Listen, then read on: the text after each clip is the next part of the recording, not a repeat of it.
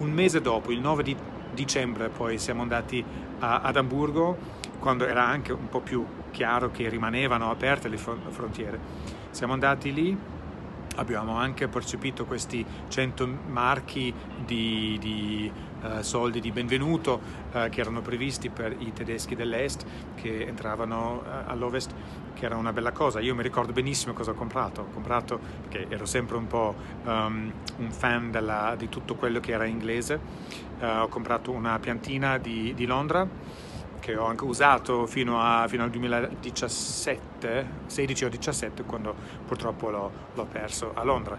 Um, e ho comprato un vinile del, del, gruppo che all'epoca mi piaceva molto, Erasure, che era appena uscito, si chiamava Wild. La nuova libertà eh, che ovviamente um, a me andava bene perché mi ha aperto tante porte, ma già per quelli che erano avevano due, tre anni, quattro anni più di me, per loro la loro strada era già così segnata dal sistema che per loro era molto più difficile uh, adattarsi, trovare, cambiare. Anche bisogna pensare che parliamo degli anni Ottanta, quando non era ancora come oggi, che sappiamo tutti che la, la, la professione con la quale iniziamo non è, che, non è molto probabile che uh, la uh, viviamo fino alla pensione quindi ci sono tante, eh, tanti destini anche che hanno, eh, che hanno, cambiato in questo periodo.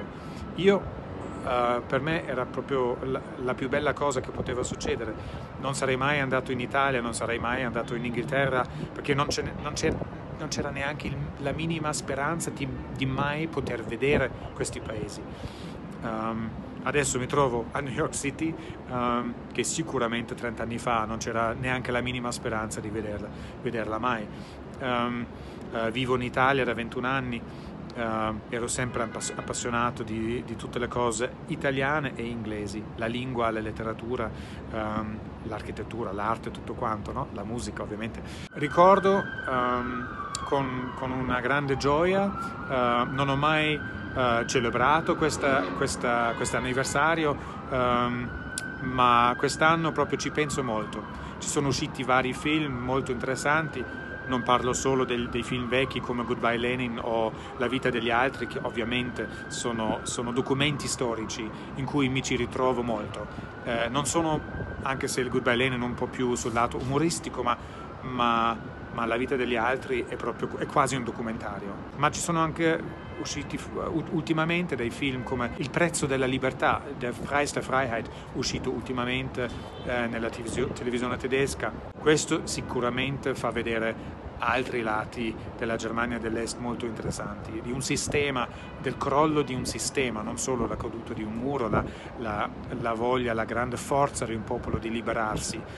Ricordo il 6 ottobre, quindi la, la sera prima della del quarantesimo compleanno, cioè dell'anniversario della fondazione della DDR, dell'NDR, ehm, siamo stati chiamati come la gioventù eh, della Germania dell'Est, siamo stati chiamati a Berlino per celebrare proprio per la gioventù, per celebrare questa, questo anniversario.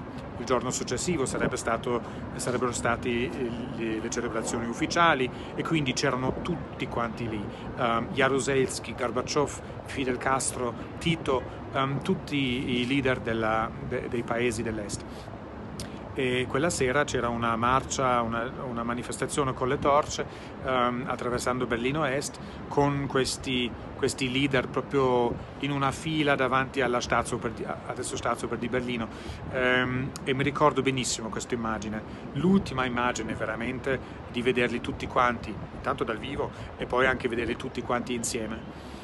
Il giorno dopo festeggiamenti ufficiali e un mese dopo il crollo del, eh, totale del sistema. Cosa estremamente interessante, un periodo da studiare proprio. E so già che viene studiato, ma, ma avendolo vissuto mi ha, mi ha, dato una forza, anche un, interesse forte nella, nella storia del XXI secolo di tutti questi paesi sono i miei pensieri che volevo, mi hanno chiesto di condividere con voi. Chiunque lo, lo veda questo piccolo video um, guardate questi film, um, un, informatevi un po' di questo periodo e apprezzate la libertà. Io veramente grazie a questo, questa esperienza, devo dire, apprezzo in modo um, neanche esprimibile la, la, libertà che ho guadagnato attraverso questi eventi di quel, quei giorni, quel, quelle settimane e la libertà che mi è, data, uh, mi è stata data per vivere una vita sicuramente completamente diversa oggi. Vi saluto e vi auguro un, un, dei festeggiamenti se volete festeggiare e magari spero che ci vedremo prossimamente al Teatro Reggio di Torino per una delle bellissime opere che abbiamo in programma questa stagione. A presto, buona serata.